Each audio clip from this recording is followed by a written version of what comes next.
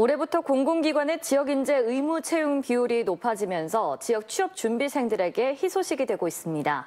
최근에는 대기업들이 블라인드 채용 방식을 도입해 능력 위주로 인재를 뽑고 있어서 취업 기회가 더 넓어지고 있습니다. 이기혁 기자입니다. 4년 만에 광주에서 열린 한 백화점의 채용 설명회입니다.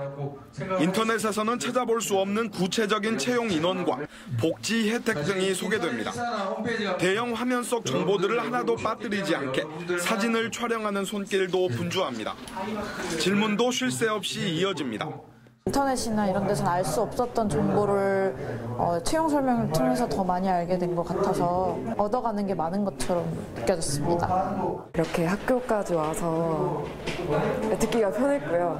지원해 볼 수 있겠다 싶은 동기가 생겼습니다. 이 백화점은 이름과 연락처 외에 개인 사항을 공개하지 않는 블라인드 채용을 시행하고 있습니다. 이번에 광주에서 열린 롯데백화점 채용 설명회는 수도권과 지방 차별 없이 동등한 기회를 제공하기 위한 일환으로 마련되었습니다.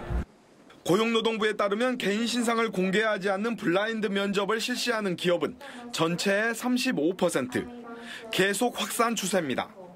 여기에 지방대 출신들은 수도권에 비해 채용 정보 접근성이 취약하지만 채용 설명회 등을 통해 여건이 나아지고 있습니다. 공공기관이 지역인재 의무 채용 비율을 확대하고 민간 기업이 블라인드 채용 방식을 도입하면서 지역 취업 준비생들에게 취업의 문이 넓어지고 있습니다. KBC 이계혁입니다.